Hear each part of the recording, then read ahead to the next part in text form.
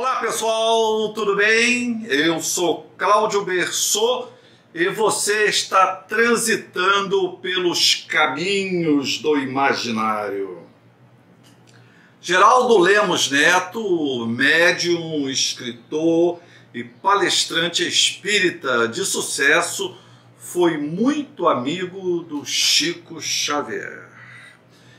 Ele conta, numa das suas entrevistas, quando lhe perguntado quais teriam sido os dois fatos mais importantes da sua vida, ele diz que esses dois fatos mais importantes da sua vida, fatos que ocorreram com ele, que ele sentiu claramente a presença do divino lhe orientando. Esses dois fatos foram, é, de certa maneira, dirigidos pelo Chico Xavier. O primeiro, ele diz, foi quando conheceu Chico Xavier. E o segundo, quando ele reencontrou o Chico Xavier depois da sua morte, da sua desencarnação. O primeiro fato ele diz o seguinte: ele diz para ilustrar a importância do Chico Xavier na sua vida, ele conta que certa vez estava na casa do Chico Xavier e Chico, os dois estavam sentados na mesa. O Chico estava ali fazendo alguma coisa relacionada à sua mediunidade, respondendo alguma carta, alguma coisa assim. E o Geraldinho estava estudando matérias da faculdade. Ele era estudante na época. E subitamente ele se viu tomado por um, um enorme, um gigantesco, um avassalador amor pelo Chico Xavier. Essa, esse sentimento foi um sentimento tão profundo que o descentrou. Ele se sentiu meio deslocado no tempo, no espaço, e tamanha a, a, a força desse sentimento amoroso que ele sentiu pelo, pelo Chico Xavier. Então ele perguntou para o Chico Xavier: Chico, a nossa relação é uma relação muito profunda, é uma relação que não pode ser uma relação somente desta vida. Essa nós temos um, uma história muito grande, com certeza em outras vidas também, Chico. Me diga, Chico, quem nós fomos nas vidas passadas você foi minha mãe, eu fui, eu fui sua mulher, você foi meu marido, você foi minha filha, eu fui seu filho, nós fomos irmãos. Quem, Chico, nós fomos nas outras vidas? Porque nós temos que ter tido uma longa caminhada de existências para eu poder sentir o que eu sinto, eu sinto por ti. Ao fazer essa pergunta para o Chico, ele é, acalmou mais né? e, e, retornou, digamos assim. Então ele, ele, já, ele tinha por pouco, poucos minutos até mesmo se esquecido da presença do Chico Xavier ali na, na mesma mesa que ele. Mas agora ele já voltara a ponto de escutar a resposta do Chico o Chico lhe diz: Geraldinho, nós já fomos tudo isso e muito mais. O Chico está dizendo para ele então que ele um dia foi mãe do Geraldinho, foi marido do Geraldinho, foi mulher do Geraldinho, foi irmão do Geraldinho. Agora eles são grandes amigos as nossas reencarnações juntos, Geraldinho, elas já ocorrem há 40 mil anos. 40 mil anos. muito transgressivo isso. Né? O mundo é encurtado, o mundo de 40 mil anos é comprimido, né? E todos os vínculos amorosos, afetuosos, eles são borrados, né?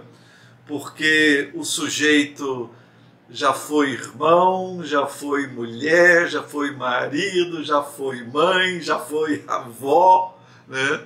um do outro. Né? É um, um, uma fantasia muito transgressiva, né? muito transgressiva.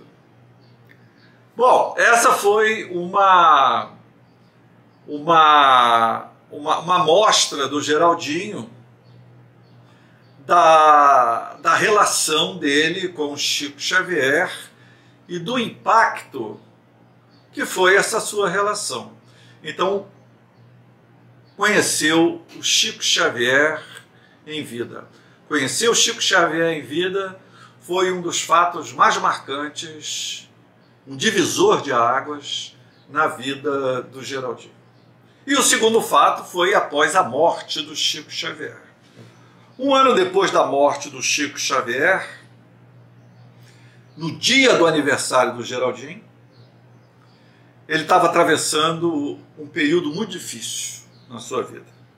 Estava trabalhando numa empresa é, demais, trabalhava de manhã, de tarde, de noite, um tipo de trabalho que não lhe trazia uma grande satisfação pessoal, estava ganhando mais ou menos bem, mas do ponto de vista da realização pessoal, isso estava deixando ele muito, ele estava muito, muito insatisfeito. Então ele estava angustiado, deprimido, né? estava muito triste e não sabia para que lado ir, no que rumo tomar. Abandona o trabalho, não sabia o que fazer da vida.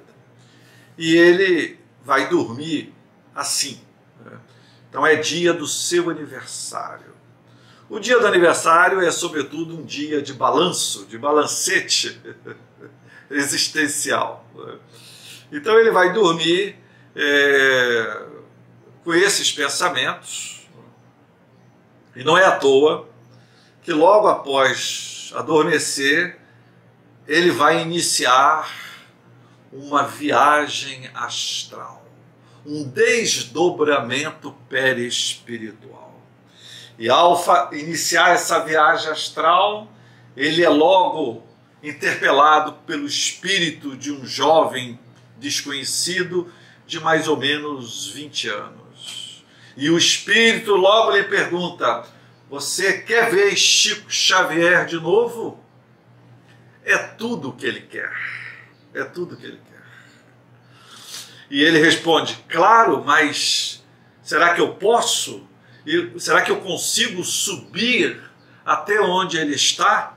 E o Espírito lhe responde: Você não precisa subir porque ele já desceu.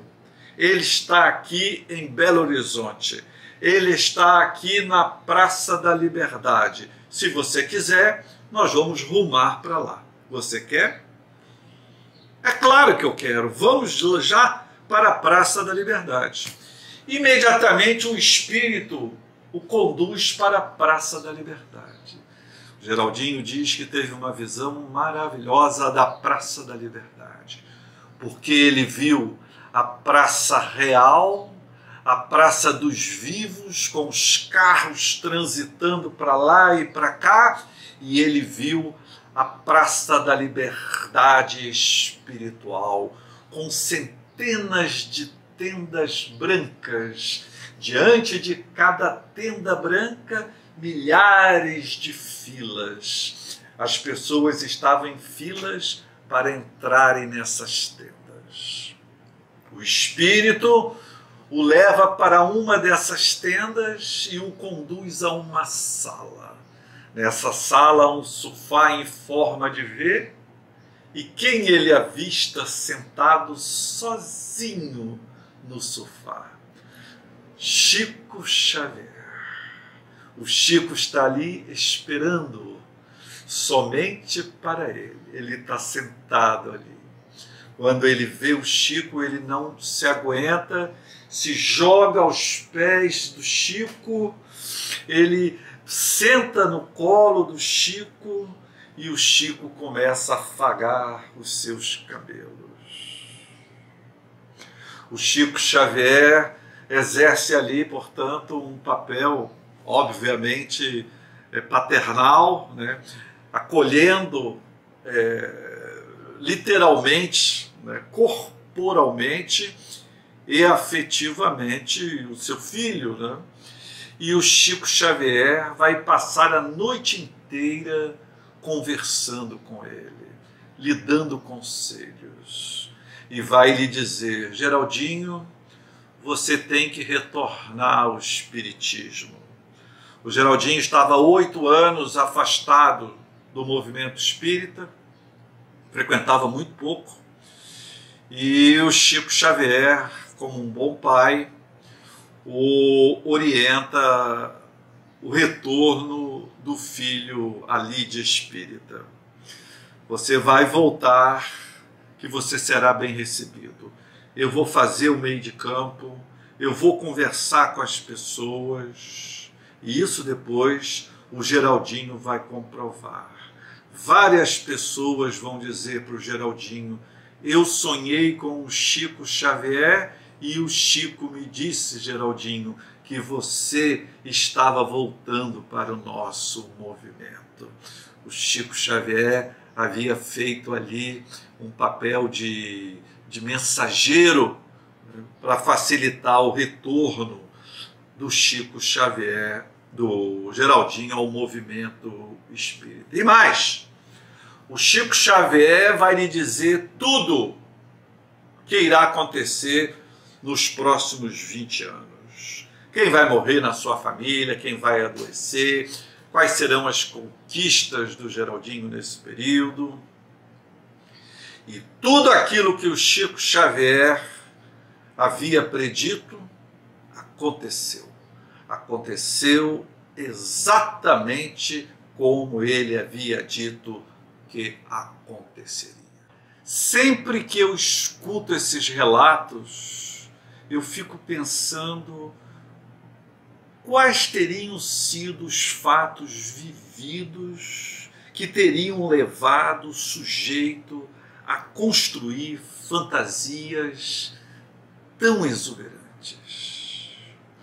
O sujeito dissolve o tempo e, além de convocar outros mundos, convoca também outras existências para lhe dar sentido, amparo, consolo e esperança.